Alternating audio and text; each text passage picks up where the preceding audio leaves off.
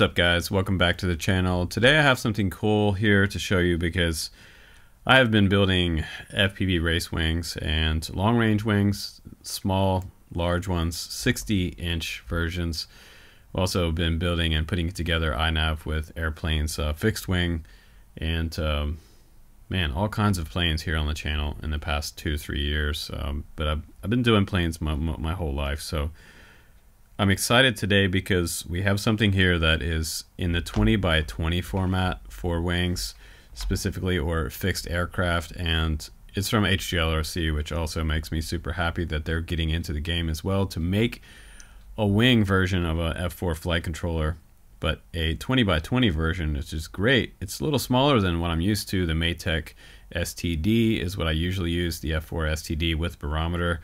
It accepts GPS but this one also has barometer on board and this little guy will support up to an 8S battery. So yeah small size and it supports a ton of power. The built-in PDB also accepts up to 100 amp for the maximum power input. If you do go over 6S they tell you to use a capacitor on the, the board input uh, before you fire it up because you could fry this board without the capacitor but right now, um, I am posting this video on Tuesday, and I, I'm on their website right now. It is actually Monday right now. Um, so I made this a day before the video posted, but right now it's there's a sale on this, um, and it's about yeah you're gonna save about four dollars I believe off the the normal price is forty five ninety nine, and the sale price is forty two ninety nine for it right now. But um, you can also get a GPS on their website as well that will solder right up to this. And I'm going to show you that if you've never done this before, this is probably the easiest way to get into it. Um, mainly because this is a really nice setup and I'm going to show you that it's not super hard to solder up. If you've ever soldered up a 5 inch race quad before or even a 20 by 20 micro stack like this, you can handle putting GPS on a wing.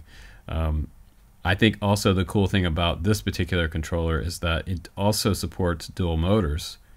So those of us who want to do twin setups, twin brushless motors on more of like a fixed wing um, airplane style fuselage, uh, a lot of times the motors are out on the wings.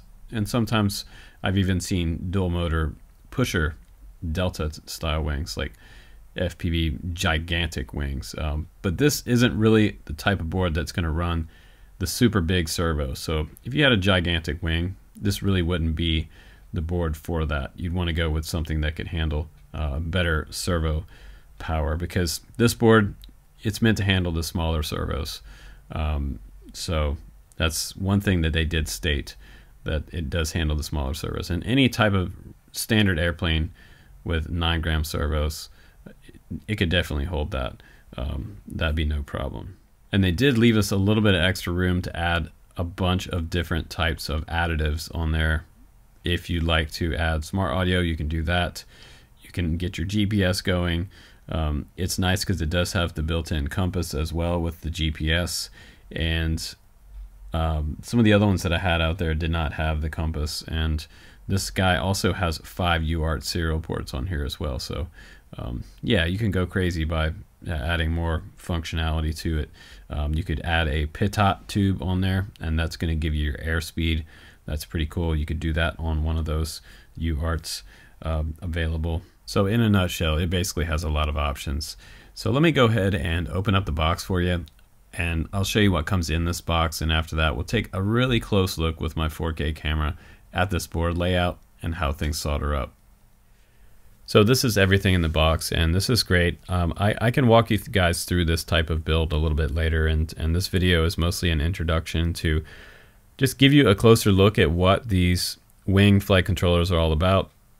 I've been building them for a very long time, and usually I use the Matek STD F4.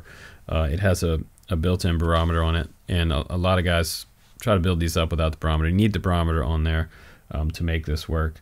Um, it also has to support GPS, obviously, because to fly long range or fixed wing um, without GPS on there is just nuts. Um, you fail safe and you're going to drop in the middle of the mountains somewhere, and you have, have no idea where it is. And the other fail safe that we use with this type of setup is using the full-blown crossfire because that also gives us GPS telemetry, uh, latitude and longitude numbers.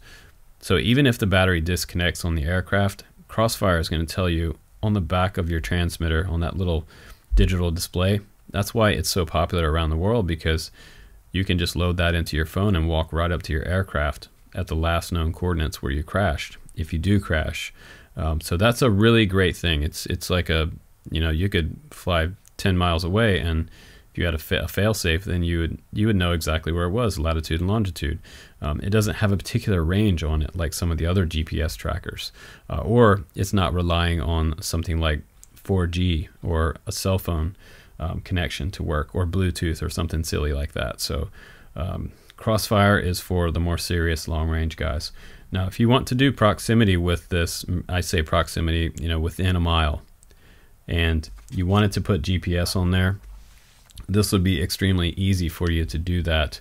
HGLRC also makes this GPS right here is u-blox GPS and uh, we'll take a little closer look at this in a minute but the nice thing about this is you can snip these two off right here and you can solder these along this GPS rail on the left hand side of the flight controller and what made me really happy about this particular kit when it came in and I opened up the box because it looked like this at first. It was kind of like Christmas morning. I, I didn't know what was under those uh, sticker sheet right there. And I opened up the box and I like the way this looks. It's super small. It is that 20 by 20 setup and everything looks fairly plug and play here for the exception of the camera and the receiver and the VTX.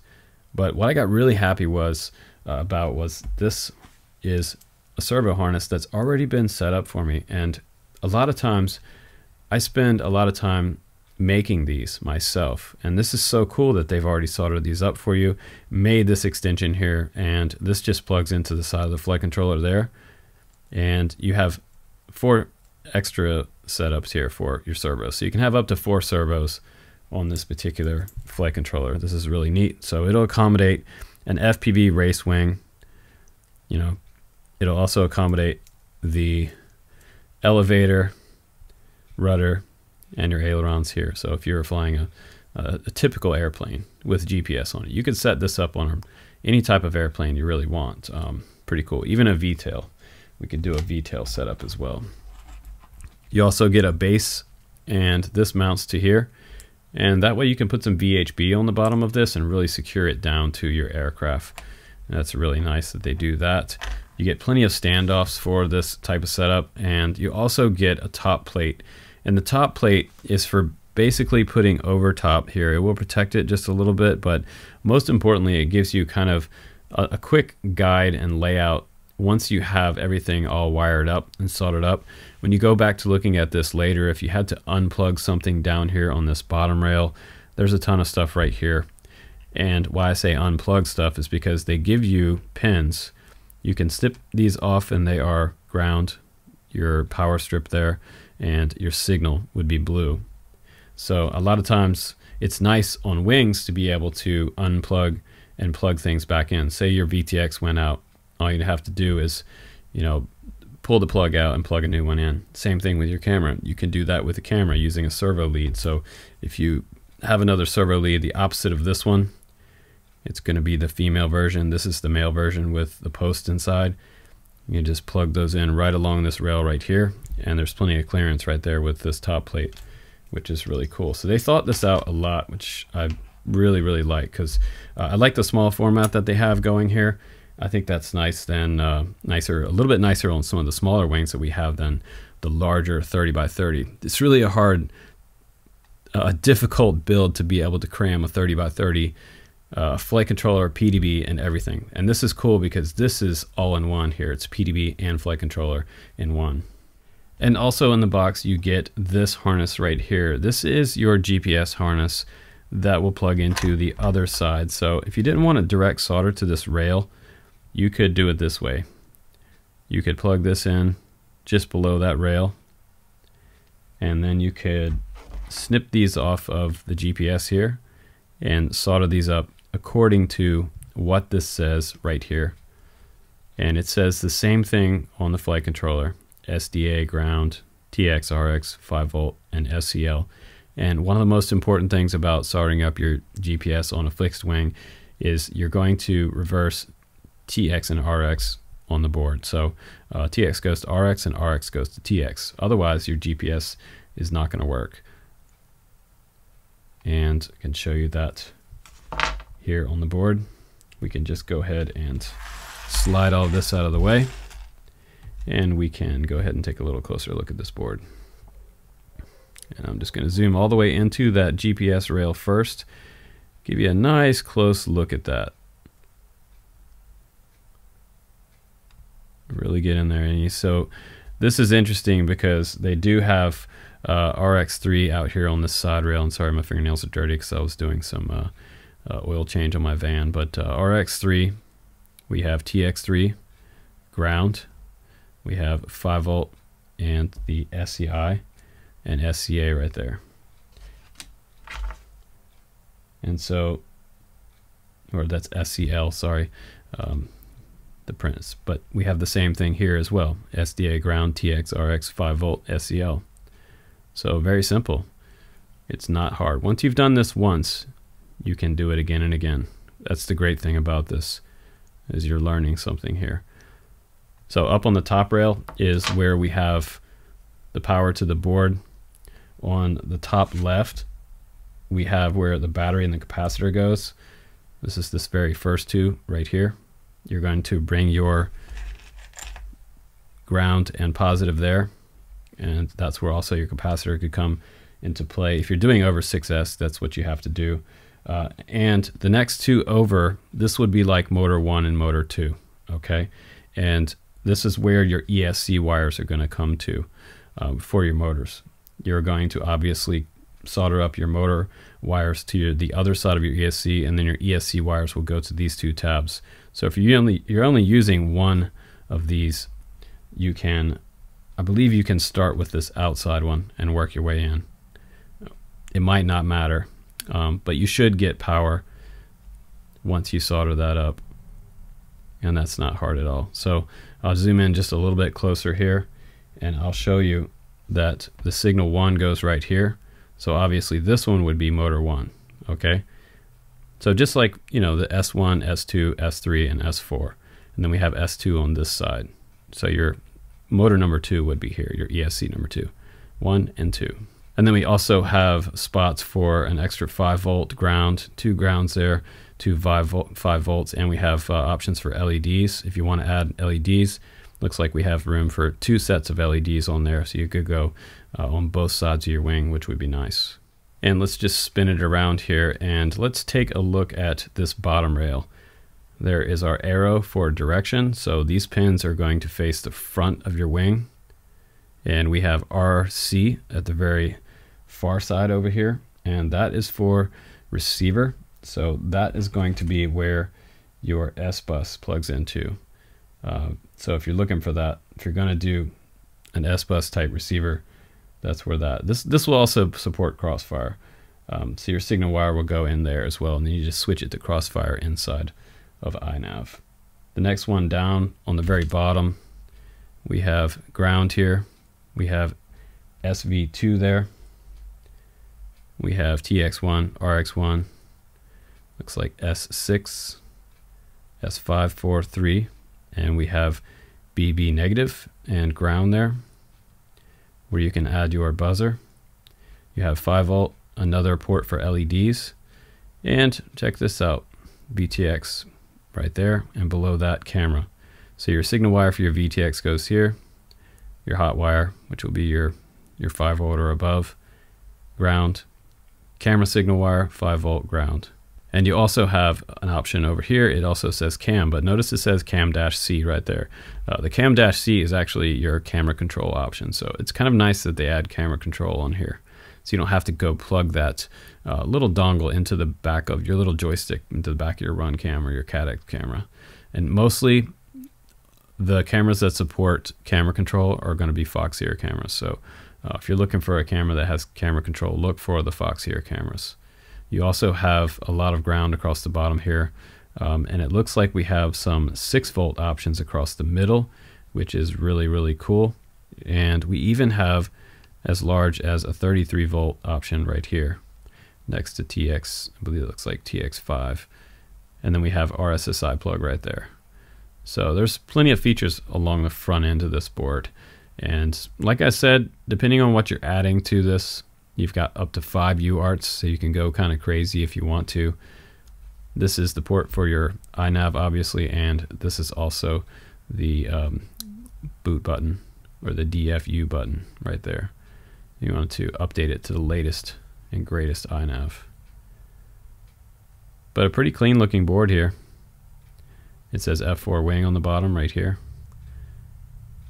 Really nice and clean. It looks like it does have some type of coating over top of it.